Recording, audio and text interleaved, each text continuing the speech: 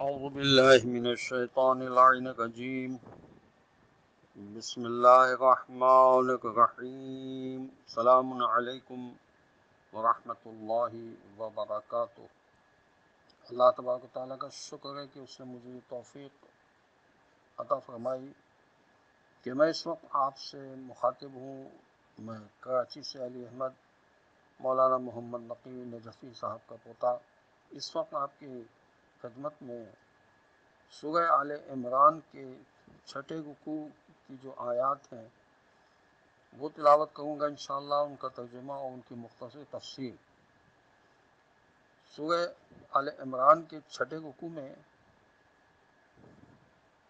आयत नंबर पचपन से इब्तदा हो गई है। अज़बिल्लाजीम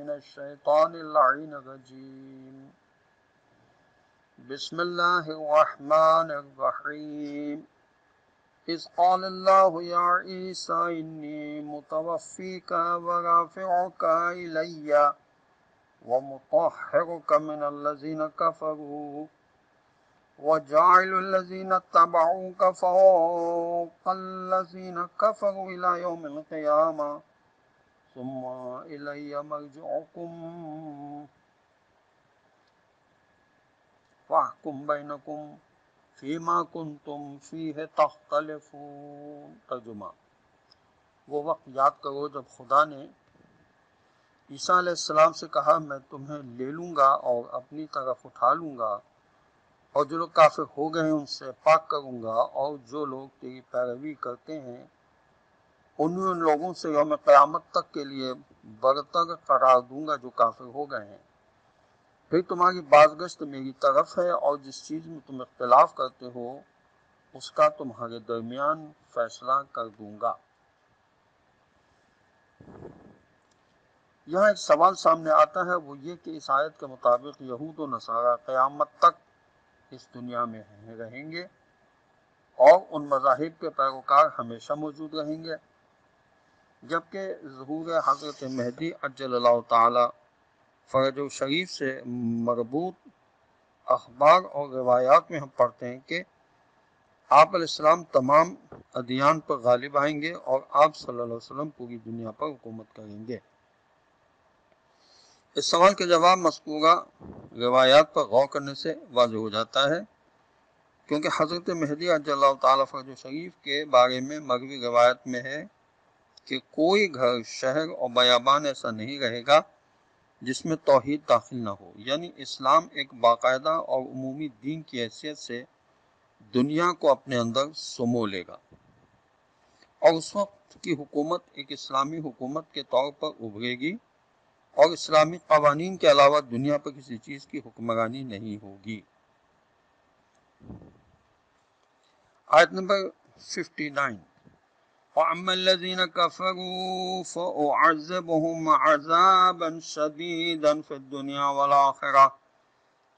वमा लहुम मिन नासरीन तर्जुमा रहे वो लोग जो काफिर हो गए हैं और उन्होंने हक को छुप हक को पहचानने के बावजूद उसका इनकार कर दिया है उन्हें दुनिया वाखरत में सख्त अजाब करूंगा और उनकी यार मददगार नहीं होंगे आयत नंबर 57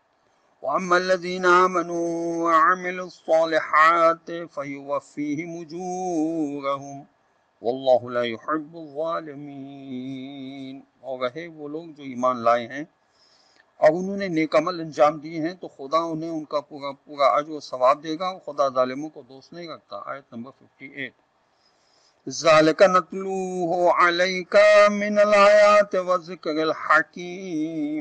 ये जो कुछ हम तेरे लिए पढ़ते हैं तेरी की निशानी और हकीमाना तस्करा है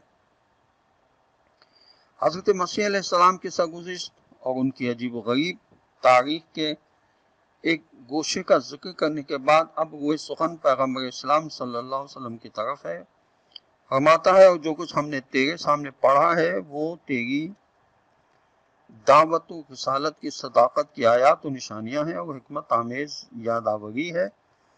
जो आयात कुरान की सूरत में तुझ पर नाजिल हुई, और ये वो आयात महकम हैं, जो हर किस्म के हजल, बातिल और खराफात से पाक हैं, और हक़ को वाजे करती हैं। आयत नंबर 59 इन मसला ईसा इंदल्लाहि कमसल आदम खलक़हु मिन तुराबिन सुम्मा क़ाल लहु कुन फयकून। तर्जुमा, ईसा की मिसाल खुदा के नज़दीक आदम अलैहिस्सलाम की सी है। जिसे खुदा ने मिट्टी से पैदा किया, फिर उससे कहा, हो जा तो वो फ़ौरन हो गए।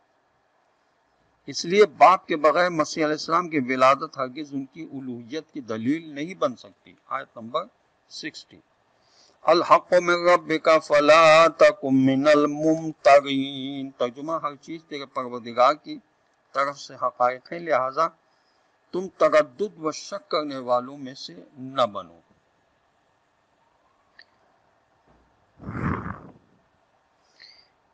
इस जुमले के बारे में मुफसरी ने दो अहतमाल पेश किए हैं। पहला ये कि ये जुमला मुबतदा ख़बर है, मुबतदा ख़बर से मरकब है, यानी अलहक मुबतदा है, और मिगब का खबर है।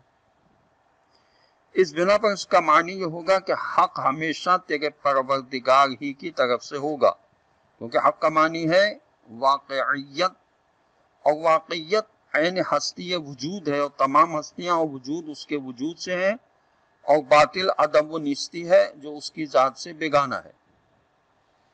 दूसरा ये कि ये जुमला मुबतदाय महजूफ की खबर है जो कि जालिकल अखबार है। यानी ये खबरें जो आपको बताई गई हैं, सब परवरदिगार की तरफ़ से हकायक हैं। ये दोनों मफाहिम आयत के लिए मुनासिब हैं। और अब वो आयत शुरू हो गई है, जिसको कहते हैं आयत मुबाहिला।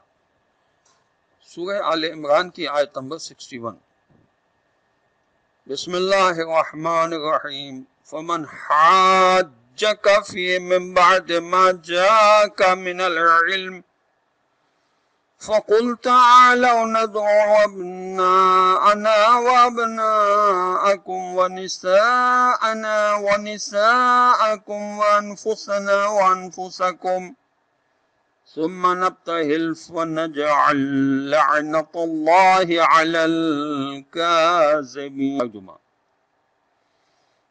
इस इल्म दानिश के बाद जो ईसा सलाम के बारे में तुम्हारे पास पहुँचा है, फिर भी कोई तुमसे झगड़े तो उसे कह दो, आओ, हम अपने बेटों को बुलाते हैं। तुम अपने बेटों को बुलाओ, हम अपनी औरतों को बुलाते हैं। तुमने अपनी औरतों को बुलाओ और हम अपने नफ्सों को बुलाते हैं। तुम अपने नफ्सों को बुलाओ, फिर मुबाहिला करेंगे और झूठों पर खुदा की लानत करेंगे। मुबाहिला दरअसल बहल के मादे से इसका मानी है रिहा करना और किसी की कैदोबंद को ख़त्म कर देना। इसी बिना पर जब किसी जानवर को उसके हाल पर छोड़ दें और उसके पिस्तान किसी थैली में न बांधें ताकि उसका नौजादा बच्चा आज़ादी से उसका दूध पी सके तो उसे बाहिल कहते हैं। दुआ में इब्तहाल तजको वजारी और काम खुदा के सबूत करने के मानी में आता है। कभी कभार ये लफ्ज़ हलाकत, लानत और खुदा से दूरी के माने में इसलिए इस्तेमाल होता है कि बंदे को उसके हाल पर छोड़ देना मनफी नतज का हामिल होता है। ये तो था मुबाहले का मफहम। असल लगत के लिहाज से, लेकिन इस मुगवज मफहम के लिहाज से जो ऊपर वाली आयत में मुराद दिया गया है, ये दो अशास के दरमियान एक दूसरे पर नफरीन करने को कहते हैं, और वो भी इस तरह कि वो गिरोह जो किसी अहम मजहबी मसले में इख्तलाफ राय रखते हों एक जगह जमा हो जाए, बागा इलाही में तजगो करें और उससे दुआ करें कि वो झूठे को गुस्सा व जलील करे और उसे सजा व अजाब दे।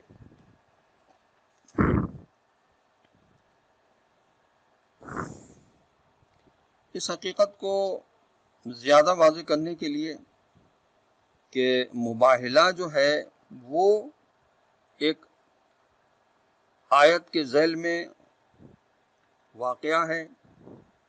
और मुबाहला का नतीजा तो यहाँ बयान नहीं किया गया, लेकिन चूँकि ये तरीक़ार मंतिक व इस्तलाल के गैर मौसर होने पर इख्तियार किया गया था, इसलिए ये खुद इस बात की दलील है कि मकसूद सिर्फ़ दुआ न थी, बल्कि उसका खारजी असर पेश नज़र था। अब इस मुबाहले का ज़िक्र अहल सुन्नत की बेशुमार तफासी में मौजूद है।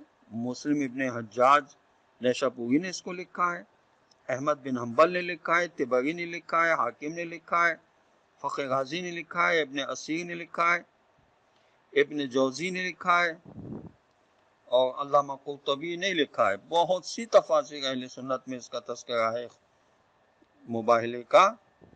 और ये वाज है कि रसूल सल्लल्लाहु अलैहि वसल्लम किन हस्तियों को लेके गए। आए मुबाहला से ज़मीनी तौर पर यह भी मालूम होता है कि बेटी की औलाद को भी इब्न बेटा कहा जाता है। ज़माने जाहिलियत में इसके बरक्स मरसूम था कि सिर्फ़ बेटी की औलाद को अपनी औलाद समझा जाता था और कहा जाता था कि बनूना बनु इबनाना व बना इना बनु हन्ना अपना रिजाल इल्ला बाइद, यानी हमारी औलाद तो फ़कत हमारे पोते हैं। रहे हमारे नवासे तो वो दूसरों की औलाद है, ना कि हमारी। ये मशहूर था। आयत नंबर सिक्सटी टू इन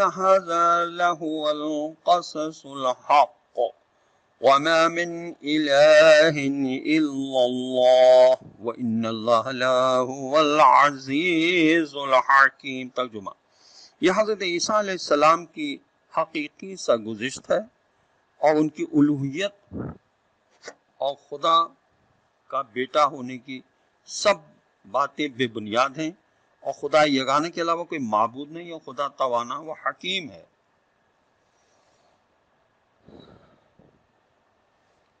ताकीद के तौर पर यह मजीद कहा गया है कि जो ज़ात परस्तिश के लायक है, वो सिर्फ़ खुदा वंद तवाना व हकीम है।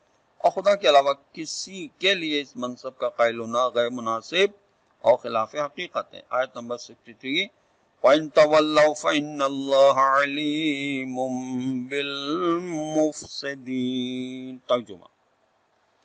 अगर इन वाज शवाहिद के बावजूद कबूल हक से गुगरदानी करते हैं तो जान लो कि वो हकीकत की मुतलाशी नहीं है और खुदा फसाद करने वालों से आगाह है।